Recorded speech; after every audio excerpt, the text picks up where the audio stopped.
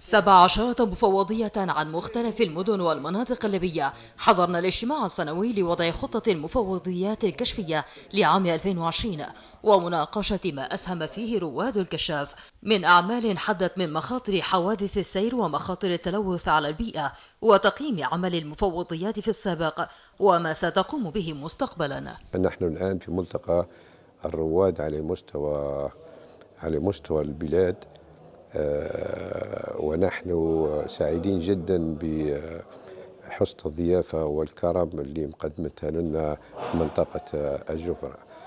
آه، الشيء اللي نحن نحب اللي وحدت ليبيا هن ثلاثة أشياء. من زمان وحدت ليبيا الحركة الكشفية وحدت ليبيا الجامعة الليبية ووحدت ليبيا الجيش الليبي.